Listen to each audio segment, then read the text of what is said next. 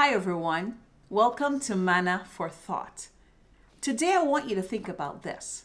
Proverbs 18, verse 20 and 21 says, For a man's belly shall be satisfied with the fruit of his mouth, and with the increase of his lips shall he be filled.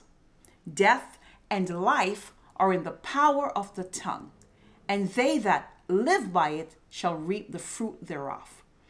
If we want to lead a healthy life, our doctor would recommend that we eat healthy foods, drink plenty of water, and exercise on a regular basis. But in order to do that, it takes great commitment, sacrifice, and you have to be disciplined. I don't know about you, but if I had to choose between a hamburger and a salad, I think I'm going to go with a hamburger.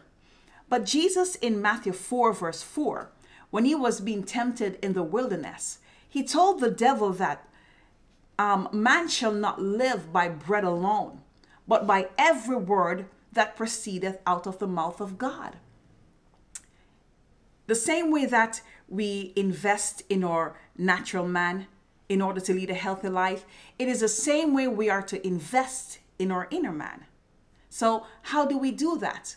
In Proverbs 18, verse 20, the word belly is symbolic to the inner man. So, what is the inner man? In the Greek language, the inner man is also known as is known as lebab, meaning the mind, the will, the heart, which is the same thing as the spirit. So let's read verse 20 like this A man's spirit shall be filled with the fruit of, shall be satisfied with the fruit of his mouth.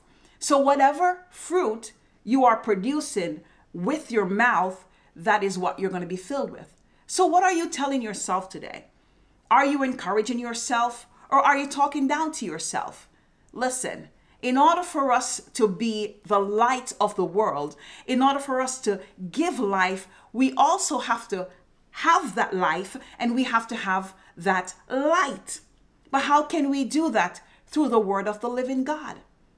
Listen, Jesus told the Jews this in John 7, verse 37 and 38. And this is what he said to them He said, If any man thirst, let him come unto me and drink. For he that believeth on me, and as the scripture saith, out of his belly shall flow rivers of living water. So Jesus is saying to you, and he's saying to me, out of you, if you believe in me, out of you shall flow life, not death. So I ask you this question What are you feeding your spirit? Are you feeding your spirit life? Or are you feeding your spirit death? Do you believe in God? Well, if you do, out of your belly, out of your spirit shall flow rivers of living water. Listen, as I said before, we are the light of the world. Let's speak life into our own lives so we can then speak it into our family's life so we can speak it to the world. I'm Allison Cornelius and thank you for joining me on Manna for Thought. If you haven't subscribed to this channel as yet, I'm going to ask you to please go ahead and do so.